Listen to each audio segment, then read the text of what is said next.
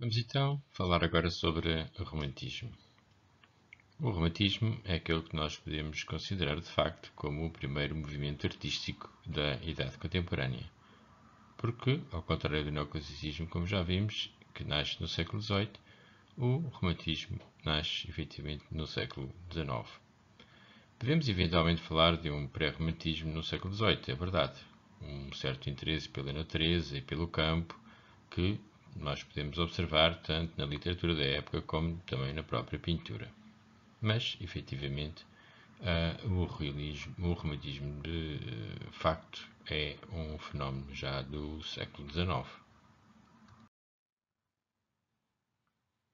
Uma das personagens uh, mais importantes e pioneiras para a introdução do novo movimento romântico em França foi Anne-Louise Germaine de Staël-Holstein, conhecida como uh, Madame de Staël. Ela acabaria por publicar, em 1810, uma obra chamada de L'Allemagne, ou da Alemanha. Este livro é importante porque acaba por explorar o conceito, ou aliás vários conceitos, um dos quais que, embora a arte italiana se baseie na herança racional e ordenada dos clássicos, tanto gregos como os romanos, os países do norte da Europa eram bastante diferentes. Ao mesmo tempo, sustentava também que a cultura nativa da Alemanha e também da França não era efetivamente clássica, mas gótica. E assim sendo, estava mais vocacionada para as emoções, para a espiritualidade e naturalidade que efetivamente se deveriam sobrepor à razão clássica. Outro dos autores que teve uma importância eh, considerável e que tem uma opinião diferente sobre o romantismo é o escritor francês Stendhal. Aliás, como sabemos, era um pseudónimo de Henri-Marie Belle. Ora, Stendhal, em 1817, publica a sua História da Pintura em Itália e, tal como Baudelaire no final do século, equipara o romantismo à modernidade. Ao mesmo tempo, apela a uma arte moderna que possa refletir as paixões turbulentas do novo século.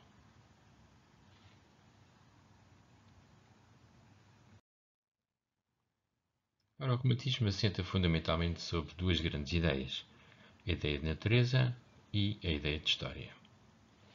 Relativamente à ideia de natureza, aquilo que caracteriza em grande parte o romantismo é uma rejeição da vida moderna e uma oposição à industrialização. Esta industrialização tinha provocado uma descaracterização urbana e, ao mesmo tempo, também uma poluição das cidades. Como sabemos, as grandes zonas industriais preferencialmente situavam-se situavam junto aos rios, por um lado, pelo acesso aos meios de transporte, fluviais e marítimos, acesso aos portos e ancoradores, acesso, obviamente, à água uh, e ao carvão e outras matérias-primas que chegavam por via marítima. Isto, em algumas cidades, como o caso de Paris ou de Londres, em que são atravessadas por um rio, levava a que, efetivamente, estas uh, fábricas se situassem mesmo no meio, no coração das cidades. Uh, esta poluição obviamente, era a poluição do ar, mas também a poluição dos rios. Por outro lado, um fenómeno que está diretamente associado à industrialização é precisamente o das migrações. Portanto, assistimos a enormes movimentos migratórios de pessoas que vêm do campo viver para as cidades na esperança de ter uma melhor qualidade de vida, o que muitas vezes não era isso que sucedia e acabavam por perder o pouco que tinham para uh, viverem em situações quase subhumanas. Também o desenvolvimento das fábricas levou ao nascimento de uma nova classe social, o proletariado. Este proletariado, que começa crescentemente a ganhar força social, haverá muitas vezes a situações de greves e vários uh, conflitos sociais, o que, obviamente, acabou por provocar uma insegurança geral na vida das cidades, onde, obviamente, este proletariado tinha mais força e, portanto, nas cidades, obviamente, mais industrializadas. Ao mesmo tempo, insegurança, mas também pobreza e, consequentemente, também doenças que acabam por assolar eh, estas cidades, nomeadamente a cólera e a febre amarela.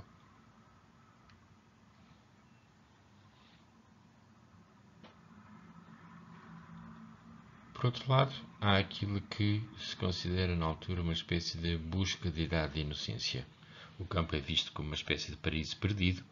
A ideia de natureza humana ou da natureza pura, portanto, que está no campo, não nas cidades, portanto, não estragada pela civilização, e também esta ideia do poder uh, da natureza do sentimento, que se caracteriza, por um lado, no paisagismo, que nós já fizemos referência, mas também numa oposição à razão humana, no despoltar das paixões, que nós podemos encontrar na literatura, no romance e na poesia, e já não tanto na filosofia como durante o Iluminismo, e que assenta fundamentalmente sobre estas duas ou estas três uh, características: a imaginação, a fantasia e o sonho.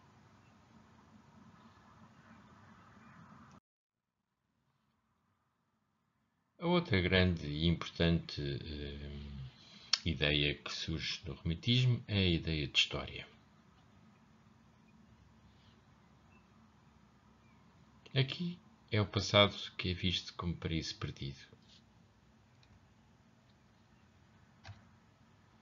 Esta rejeição do presente leva a um refúgio nesse passado e à fuga no espaço que observamos anteriormente, portanto, a fuga para o campo, sucede esta fuga no tempo, portanto, rejeitando o presente e o refúgio no passado.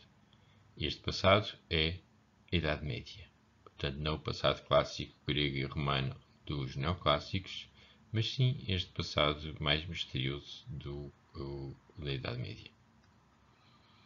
Isto porque a Idade Média, por um lado, porque é uma sociedade fundamentalmente rural, portanto não urbana e não industrializada.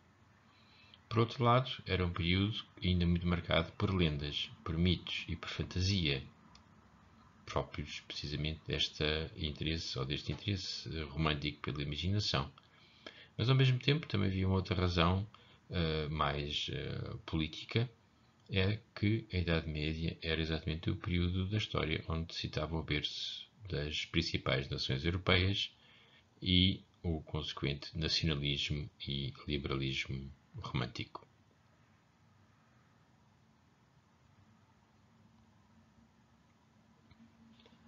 Ora bem, se este interesse pelo passado, por um lado, diferente em termos uh, temporais do interesse desenvolvido pelos neoclássicos, portanto, não é a Idade Antiga, grega, romana, mas a Idade Média, não é só uma questão do o quê, mas também o como. Ou seja, o interesse romântico não é fundamentalmente o interesse arqueológico, para os neoclássicos, ou racional ou científico pelo passado, mas sim, pelo contrário, um interesse mais fantasista, mais imaginativo. E daí o grande interesse que vem a ter o ruinismo. O ruinismo, que embora já o possamos conhecer no século XVIII, obras como as do Hubert Robert, ele está fundamentalmente assente neste poder da imaginação, o espaço para a fantasia e aquilo que acaba por constituir uma perfeita síntese entre as duas ideias, a ideia de natureza e a ideia de história. Portanto, aqui podemos ver das várias uh, obras produzidas nesta altura, em que temos precisamente este, esta imagem profundamente romântica da associação entre natureza e história. Portanto, ou seja, temos umas ruínas, ehm, esta ideia romântica que é oposta à, à, ideia clássica de natureza, portanto, enquanto para os clássicos, como sabemos, o homem domina a natureza, portanto é uma natureza controlada pelo homem, isto aliás está bem patente na, na, na famosa imagem do jardim chamado à francesa, portanto o jardim uh, racional, geometrizado, portanto a natureza perfeitamente sujeita e submetida e transformada pela própria razão humana, e que é contraposta agora no romantismo pelo jardim chamado à inglesa, portanto, que é um jardim mais natural. Claro que, obviamente, este jardim romântico não é menos artificial do que era o jardim eh, clássico do século XVII ou XVIII, mas tem um ar mais puro, mais natural. Estas imagens das ruínas são um bom exemplo disso, porque, como sabemos, uh, a presença da arquitetura na arte, sobretudo como fundo cenográfico de muitas pinturas, representa exatamente isto, esta capacidade do homem de ir à natureza buscar os materiais, de os transformar de acordo com a sua vontade e, portanto, fazer uh, as suas obras. A ruína é o significado oposto, porque a ruína representa que uh, a natureza acaba por se sobrepor à própria vontade humana. O homem foi buscar os materiais da natureza, transformou-os, mas agora a natureza recupera-os. Portanto, como se fosse uma espécie de devolução à própria natureza daquilo que o homem tinha feito. E é por isso que, frequentemente, nós vemos nestas mesmas ruínas esta presença da vegetação, uma vegetação que cobre estas ruínas um, e, portanto, um, destruindo, entre aspas, a obra do homem uh, e acabando por mostrar este triunfo da própria natureza sobre a, a vontade e a obra humana. Aí que, um, por exemplo, se poderíamos considerar uh, um clássico uh, encontrar uh, uma obra grega ou romana em perfeito estado, é? Para o romântico não é isto que interessa. Portanto, é preferível encontrar, por exemplo, as ruínas de uma catedral gótica do que uma catedral gótica intocada. Porquê? Precisamente porque a ruína dá este espaço para a imaginação. É? Portanto, é aquilo que não se sabe que é mais interessante do que aquilo que se sabe. Porque o que não se sabe, há espaço para a fantasia. Uh, este interesse pelas ruínas levou a, um, até a alguns exageros, não é? como a criação de ruínas falsas. Portanto, este conceito da ruína é extremamente apelativo é? uh, e quando não as há, inventam-se. E, portanto, isto é também um bom sintoma de que efetivamente não é um interesse racional e rigoroso sobre o passado, mas muito mais uh, a aparência de. Não é? Portanto, basta parecer ser do que ser efetivamente. Aqui temos exatamente uma imagem das famosas uh, ruínas falsas uh, em Monserrate, portanto em Sintra, assim como também existem outras em Évora e em muitos outros sítios. Né? Muitas vezes eram ruínas feitas por uh, mais por cenógrafos, né? como o caso do nosso Sinati, um, do que propriamente por arquitetos, porque aquilo que realmente interessava aqui era a, a aparência. Né? Portanto, a criação, no fundo, de, de espaços fictícios um, para a, a imaginação.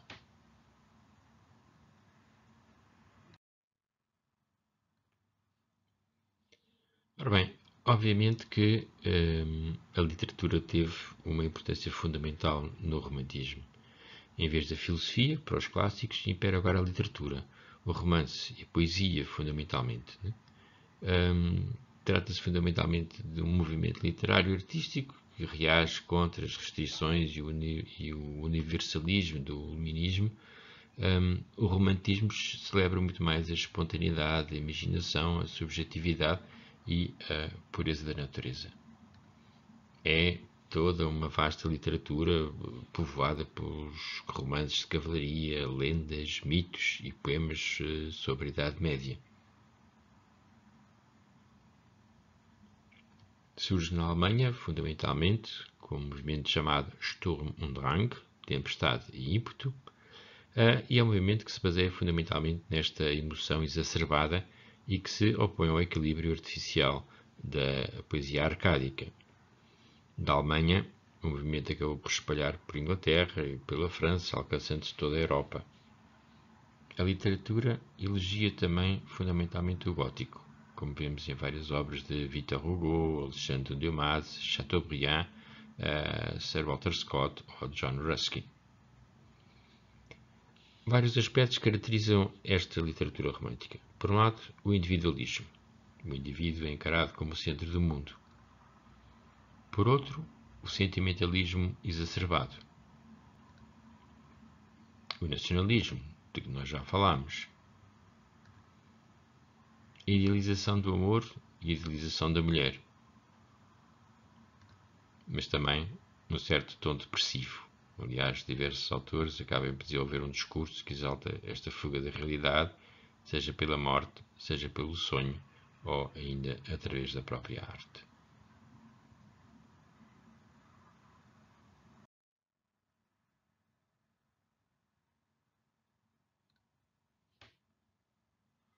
Entre as dezenas de autores românticos, falaremos apenas aqui de alguns exemplos, um dos quais o Johann Goethe, na sua obra Os Sofrimentos do Jovem Werther.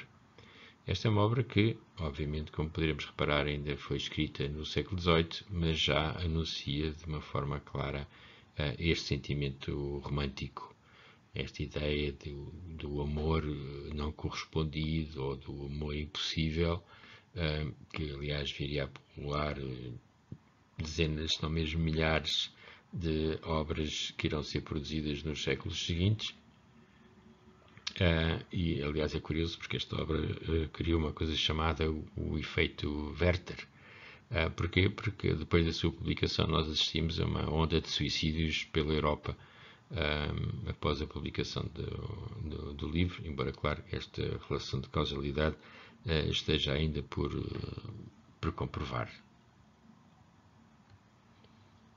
Outra obra também muito conhecida é exatamente a Notre-Dame de Paris, de Victor Hugo, publicada em 1831, que, aliás, como sabemos, eh, faz parte do, do, do nosso imaginário coletivo aliás, uh, obra essa que depois suscitou várias outras obras, inspirando até obras depois no cinema, na banda desenhada e até mesmo no, no cinema de animação que nós conhecemos, uh, nomeadamente através da Disney, uh, que no fundo corresponde à famosa história do Corcunda de Notre Dame.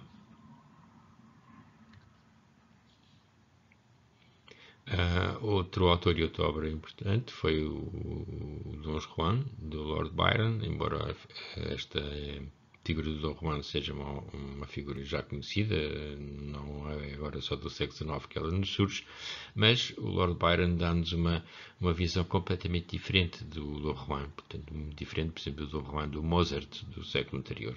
Daqui o Dom Juan um, é mais uh, vítima, é quase tornado mais numa, numa vítima.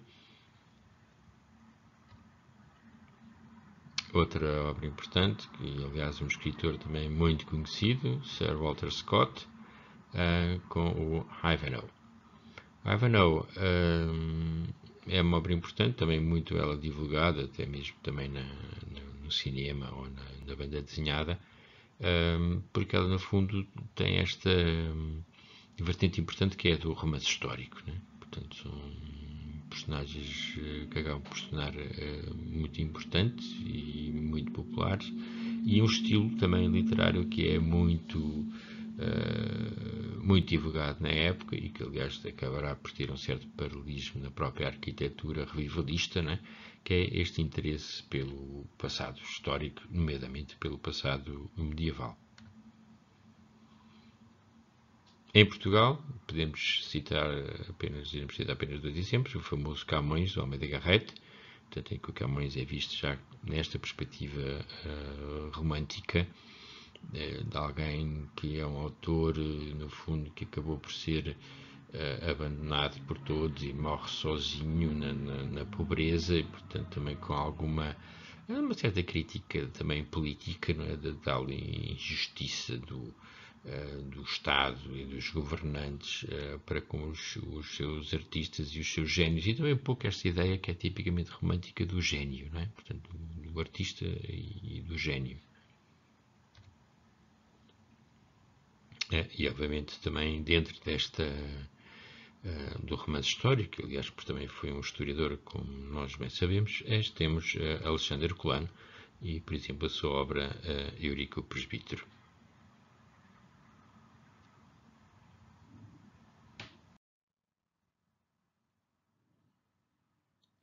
Ora bem, vejamos agora o caso da arquitetura e começaremos pela Inglaterra.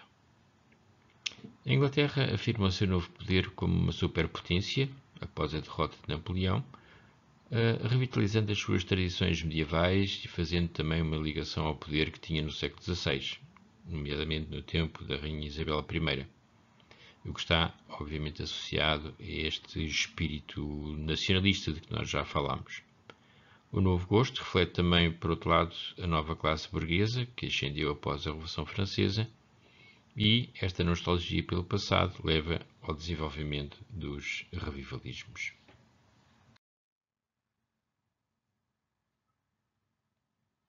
Ora, um acontecimento uh, importante que acabará por ter uh, uma influência no próprio desenvolvimento da arquitetura romântica, que foi o enorme incêndio de 1834 que destruiu o Palácio de Westminster em Londres, exceto uma parte do Grand Hall, mas fundamentalmente a parte que abrigava a Câmara dos Lordes e a Câmara dos Comuns. Aqui podemos ver uma reconstituição daquilo que era o conjunto de Westminster antes do, do famoso incêndio, uh, onde podemos observar a partir da esquerda, portanto, a famosa Torre das Joias, um, aquilo que nós pensamos ser a entrada real para a Câmara dos Lordes. Uh, lá mais atrás temos uh, a Abadia de Westminster e a Capela de Henrique VII, o antigo hum, pátio do Palácio, eh, a Câmara dos Lordes, eh, a Capela de Santo Estevão, depois temos o Westminster Hall, portanto a parte que efetivamente parece ter sobrevivido ao incêndio, e eh, à direita o pátio do novo palácio e a Câmara dos Comuns.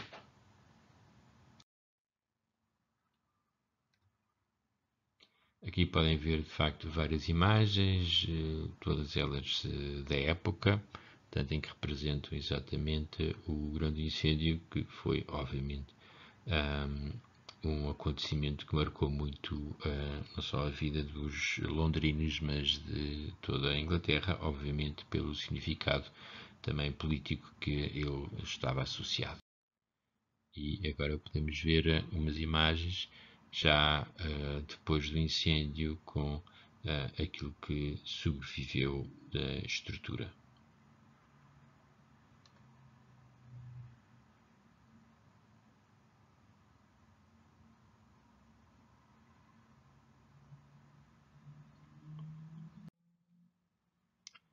Ora, depois do incêndio das casas do Parlamento, houve uma competição pública para encontrar um projeto de substituição, uh, concurso esse na qual qualquer pessoa podia participar. Aliás, bastava pagar uma libra para ter uma cópia dos planos do local e apresentar os seus projetos. Os concorrentes tinham apenas quatro meses para apresentar essas ideias. O resultado da competição acabou por ser publicado no dia 29 de fevereiro de 1836, portanto, dois anos uh, após o incêndio. Aqui podemos ver alguns desses projetos.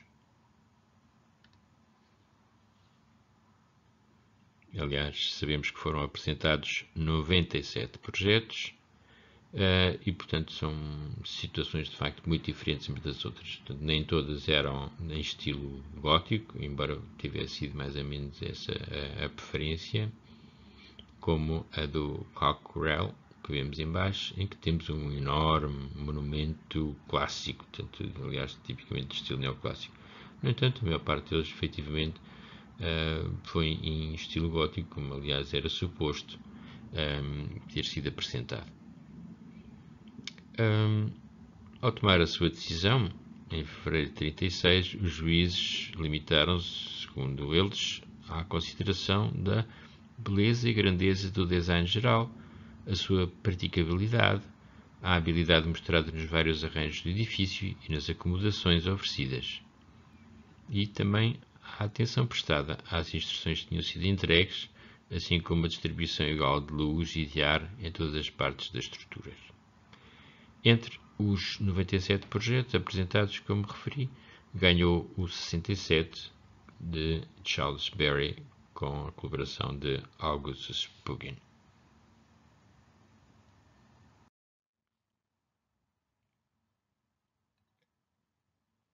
Bem, Charles Berry era um grande técnico do estilo clássico. Ele já tinha trabalhado no Travelers Club em 1827 e no Reform Club em 1837.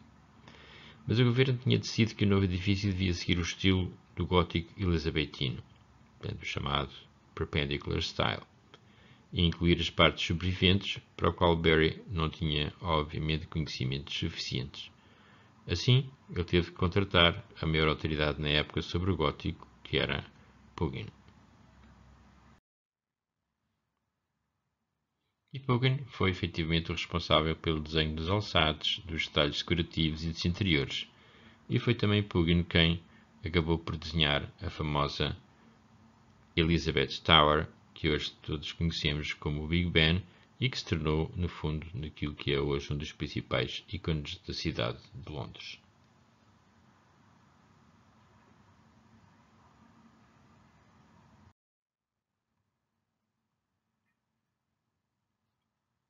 Ora bem, quem era este Augustus Welby Northmore Pugin? Arquiteto, designer, autor, teórico e figura de destaque dos revivalismos católicos romanos e góticos ingleses. A sua vida profissional começa fundamentalmente em 1836, quando publica uma obra importante intitulada Contrasts or a Parallel Between the Architecture of the 15th and the 19th Centuries, que transmitiu o argumento com o qual Pugin deveria ser identificado ao longo de toda a sua vida o elo entre a qualidade e o caráter de uma sociedade com o calibre da sua arquitetura. Pugin, que se tinha tornado católico romano em 1835, sustentou que o declínio das artes era o resultado de um declínio espiritual ocasionado pela Reforma. Entre 1837 e 1840, Pugin desfrutou de uma crescente prática arquitetónica. Seu emprego por John Talbot, conde de Shrewsbury, e outros leigos e clérigos católicos romanos, resultou na sua identificação com a liderança do Renascimento Católico Romano. Ele é, no fundo, aquilo que nós podemos considerar como o pai do Gothic Revival e dos uh, revivalismos históricos posteriores. Os seus planos para a Catedral da St. Chad em Birmingham, assim como a Catedral da St. George em Southwark, sofreram efetivamente com os fundos limitados disponíveis para a sua construção, mas, no entanto, mostram a sua imaginação e o seu brilhantismo. Desenhou ainda centenas de igrejas, cinco catedrais, várias casas e publicou diversas obras sobre arquitetura e mobiliário gótico. Morreu com apenas 40 anos de idade, já completamente esgotado, durante um súbito ataque quando fazia uma viagem de comboio.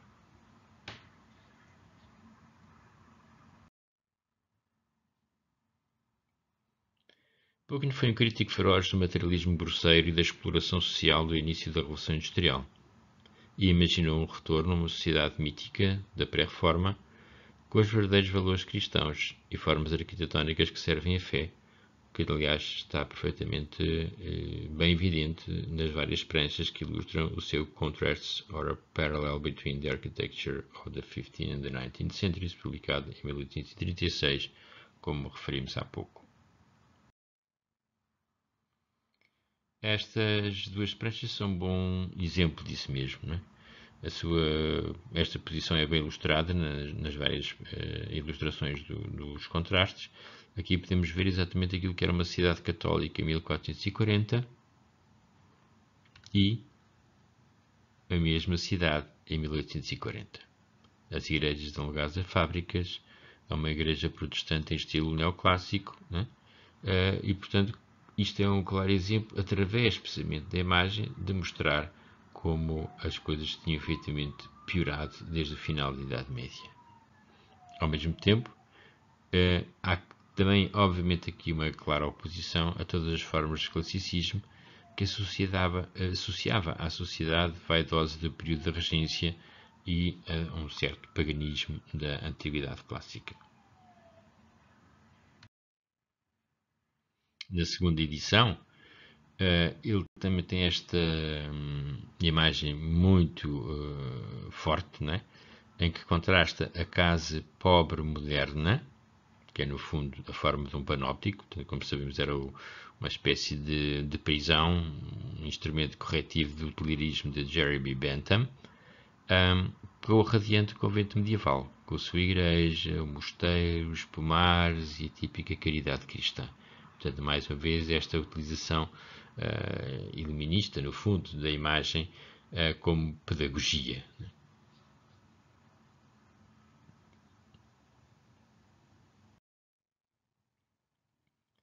Em 1841, Pugin publica o seu The True Principles of Pointed or Christian Architecture, baseado em seus dois princípios fundamentais da arquitetura cristã.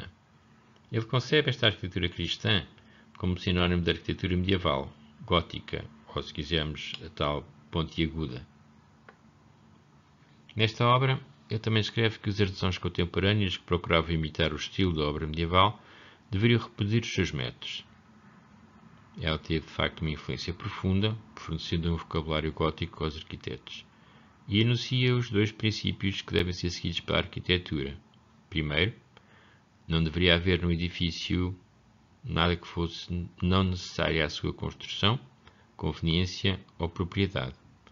Por outro lado, o ornamento não deve ser apenas aplicado, mas exprimir a estrutura essencial do edifício. E estes princípios havia-os descoberto no gótico, a linguagem do cristianismo e via da salvação. O An Apology for the Revival of Christian Architecture Apareceu dois anos depois dos verdadeiros princípios, em 1843. Muito do seu pensamento que vimos em uma apologia é sobre educação arquitetónica e ao destornar a rigidez imposta dos princípios arquitetónicos neoclássicos. Pugin exerce uma grande influência na arquitetura e do período vitoriano, nas artes aplicadas e no movimento mais amplo da forma do design.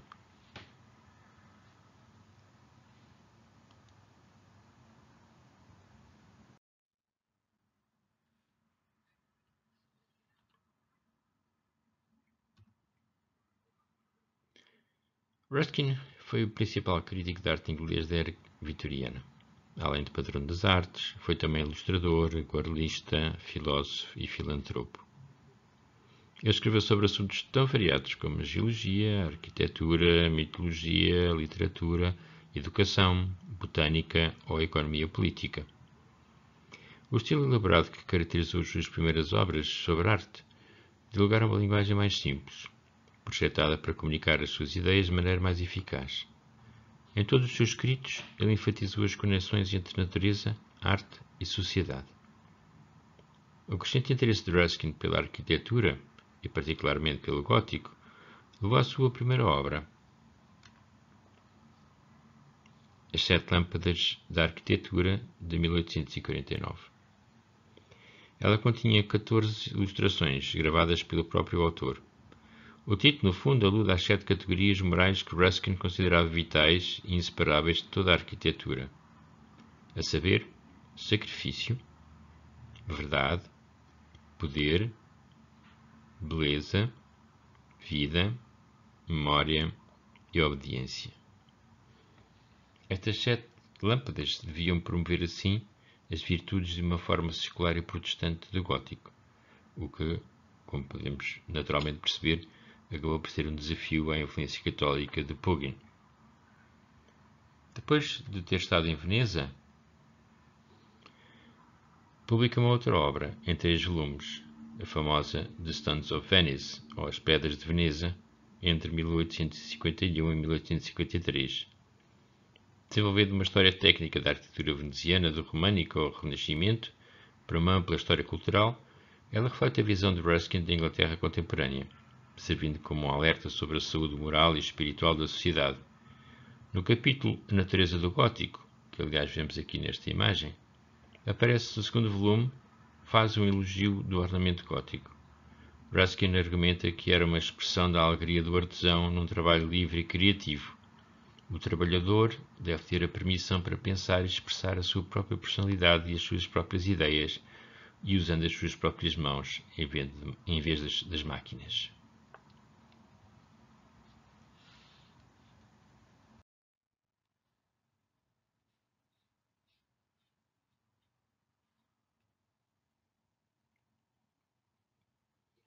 Passemos agora para uma análise do caso francês. Em França, obviamente que as circunstâncias políticas são marcantes, vamos assistir a uma revitalização do catolicismo após a laicização revolucionária e a vontade da nova casa reinante, Luís XVIII de Bourbon, de se identificar com a monarquia medieval francesa. Assim, tendo a salvar os monumentos emblemáticos desta dinastia.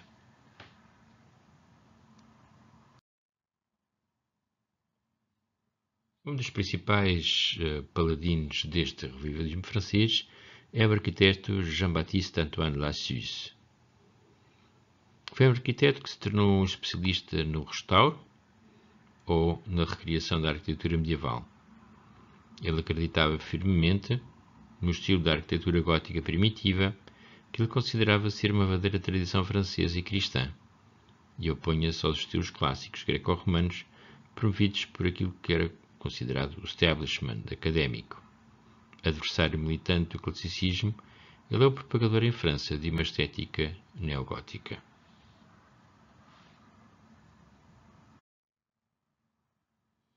Trabalhou em edifícios religiosos do estilo gótico, nomeadamente Saint-Nicolas de Nantes, em 1840, o Sacré-Cœur de Moulins, em 1849, Saint-Pierre de Dijon, em 1850, e também Saint-Jean-Baptiste de Belleville, em 53, e a Église de Coussé, em 1855. Lassus criticou a Académie Française, que só reconhecia a arquitetura pagã grega e romana, que ele via como, como importações estrangeiras. Também defendeu que a arquitetura grega não se adequava à religião ou ao clima francês, nem aos materiais disponíveis na França. Aliás, parecendo um pouco uh, inspirado naquilo que a própria Madame d'Astel já tinha dito. Era a favor da arquitetura gótica, um estilo cristão que era originário da França, no fundo, e daí o, também o interesse nacionalista. Ele era purista, usando apenas materiais de construção históricos e tentava permanecer fiel aos conceitos originais. Por outro lado, acreditava também que os edifícios do primeiro gótico eram racionais e funcionais, aquilo que era o pico da arquitetura francesa. Mais tarde, considera que o gótico acabou por se degenerar e a arquitetura renascentista introduziu influências estrangeiras e pagãs. Ele considerava que a restauração dos edifícios góticos devia respeitar a sua autenticidade formal e estrutural. Os princípios do primeiro período gótico serviriam de base para uma nova arquitetura do século XIX. Na igreja de São João Batista, em Belleville, em Paris, ele acaba por fazer uma adaptação moderna muito inteligente do gótico primitivo.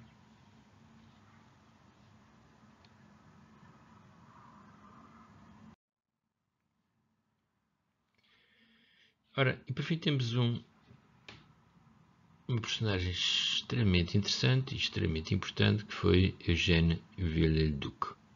Aliás, tanto por boas como menos felizes razões, infelizmente. Viollet-le-Duc é aquilo que nós podemos considerar como um perfeito representante do chamado historicismo ilustrado e, no fundo, um resistente àquilo que eram os princípios do ecletismo. Viollet-le-Duc foi restaurador, arquiteto, arqueólogo, crítico e teórico, pioneiro do funcionalismo. Ele recusa o modelo da Escola de Belas Artes e forma o contato direto com os monumentos, através de viagens que fez por França e também por Itália. Inicia a sua carreira como restaurador, trabalhando, entre outros, na Catedral de Notre-Dame com o Lassus, que falámos agora mesmo. Em 1858, ele recriou o castelo de Pierrefonds para Napoleão III. Publicou várias obras, todas elas de grande importância, como o seu Dicionário da Arquitetura Francesa dos séculos XI ou XVI, que é uma obra fundamental ainda nos dias de hoje, em 10 volumes ilustrados, onde põe em prática as suas observações arqueológicas feitas no decurso das suas viagens e dos seus trabalhos. Entre 1858 e 1875, publica também ainda os seus seis volumes do Dicionário do Mobiliário Francês, obra de referência.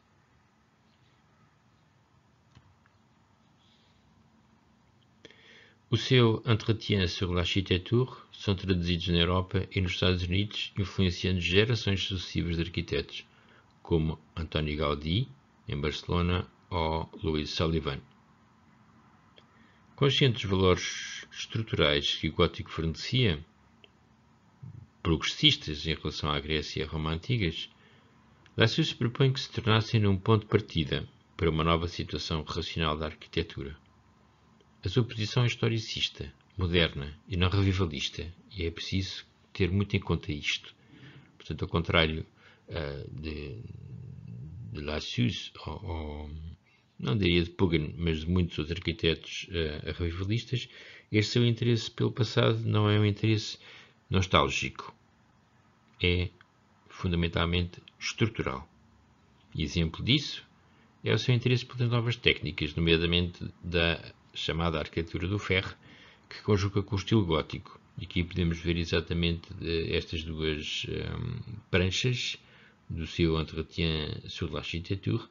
Uh, temos uma composição em, em pedra e ferro. Uh, aliás, sabemos que o Velho Duque chegou mesmo a fazer uma, um projeto de uma catedral toda em ferro. E aqui reparem nesta casa temos exatamente esta junção do estilo gótico com uh, as novidades das estruturas em ferro.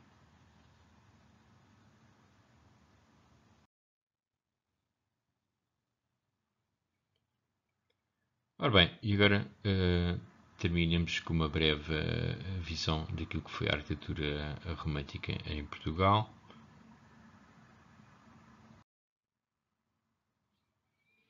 Ora, como vimos, os diversos países valorizaram diferentes períodos do gótico. No caso da Inglaterra, como reparamos, houve, sobretudo, uma ideia de valorizar o estilo Tudor, ou também chamado Perpendicular Style, como vimos, ou também chamado Gótico Elizabetino. Um, em Espanha, por exemplo, valorizou-se o gótico chamado Plateresco, do século XVI.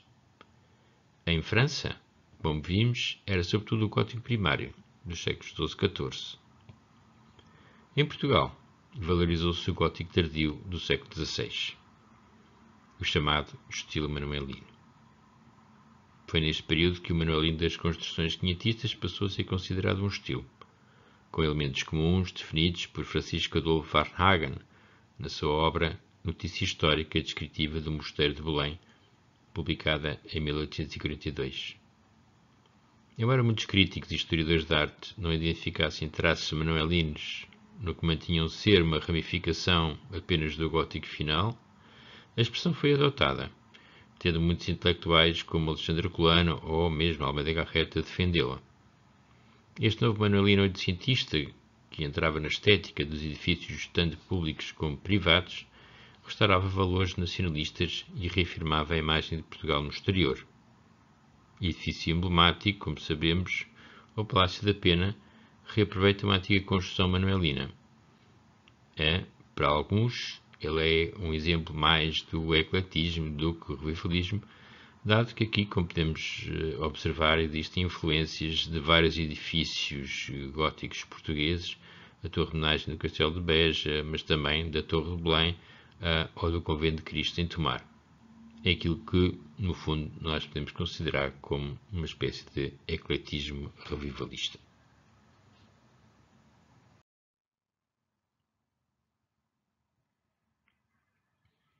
Outro exemplo também é a reconstrução ou tentativa de reconstituição do Convento dos Jerónimos, em 1867, efetuado por, mais uma vez, um, um cenógrafo, Sinati e Rambois, que, como viram, fizeram uma gigantesca torre na parte central.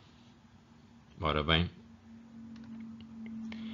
em 1878, a enorme torre caiu e assim ficou durante vários anos, entre 1878 até 1920, naquilo que é uh, uma das infelizes circunstâncias uh, portuguesas, uh, que é este estado em que as coisas acabam por se arrastar durante décadas e décadas. Até que finalmente, já no século XX, e mais concretamente em 1920, se decidiu então finalmente dar cobro à, àquela ruína em que se tinha tornado eh, aquilo que era na altura de instalações de, da Casa Pia, um, e se fez aquilo que é o mosteiro que nós hoje conhecemos. Portanto, toda esta parte central, portanto, correspondente ao antigo dormitório, uh, é hoje ocupado, como sabemos, pelo Museu Nacional de Arqueologia e também pelo Museu da Marinha.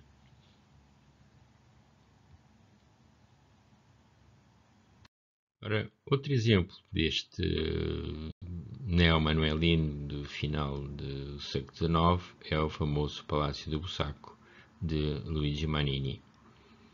Ele contou ainda com intervenções em diferentes fases do arquiteto, por exemplo, Nicola Bigalha, José Alexandre Soares ou Manuel Joaquim Norte Júnior, um arquiteto que virá a ser muito conhecido, sobretudo depois no início do século XX, né?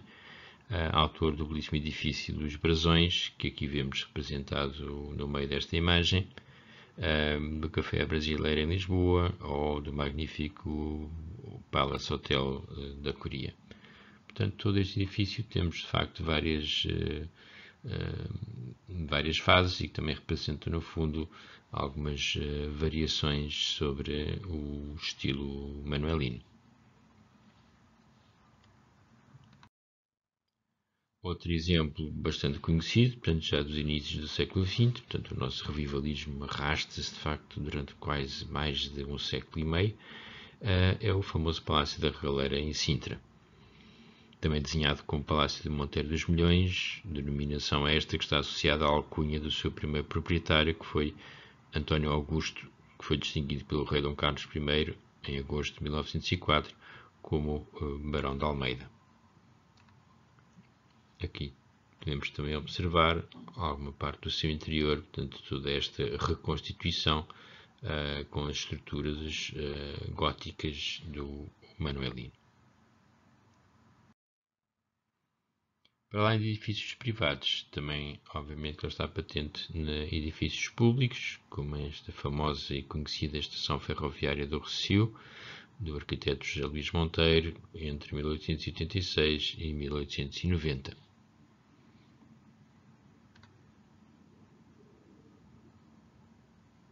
que hoje marca efetivamente esta parte da capital. Mas o nosso Manuelina acabou também por ser exportado para fora uh, das nossas fronteiras uh, e no Brasil também podemos encontrar efetivamente vários exemplos. Um deles de Rafael da Silva Castro, que é o famoso Gabinete Português de Leitura do Rio de Janeiro, de 1887, de Ernesto Maia e João Esteves Ribeiro da Silva, o Centro Cultural de Santos, em São Paulo, uh, construído a partir de 1898 até uh, 1901. Bom, por exemplo, também de Alberto Marelli, o famoso Gabinete Português de Leitura em Salvador, construído já em 1915 e terminado em 1918.